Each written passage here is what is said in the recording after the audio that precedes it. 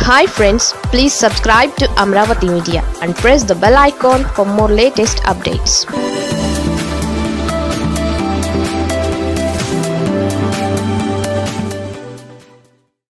DGP Gautam Sawang నిజాయితీపరుడు సమర్థుడే కానీ high court కీలక వ్యాఖ్యలు ఏపీలో క్రింది స్థాయి సిబ్బంది చేసిన ఓ తప్పిదం కారణంగా హైకోర్టు డీజీపీ గౌతమ్ సవాంగ్ను న్యాయస్థానంలో హాజరు కావాలని పిలిపించింది.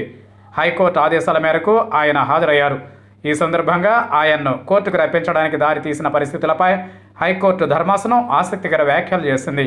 ఎస్ఐ రామారావు పదోన్నతి విషయంలో డీజీపీ గౌతమ్ సవాంగ్ హైకోర్టులో హాజరయ్యారు.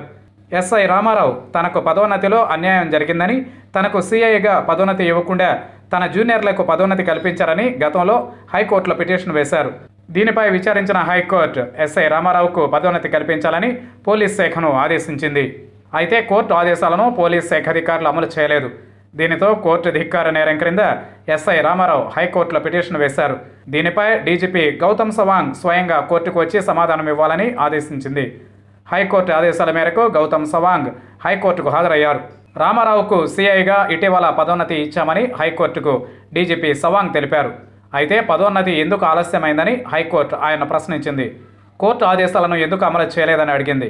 తమ డిపార్ట్మెంట్ అప్పీల్కు వెళ్ళినందునే ఆలస్యమైందని హైకోర్టుకు గౌతమ్ సవాంగ్ తెలిపారు. ఈ సందర్భంగా గౌతమ్ సవాంగ్ నిజాయితీపరుడు సమర్థుడైన అధికారి అని క్రింది స్థాయి అధికారుల పొరపాట్ల వల్ల ఉన్నతాధికారులు కోర్టులకు రావాల్సి వస్తోందని హైకోర్టు వ్యాఖ్యానించింది.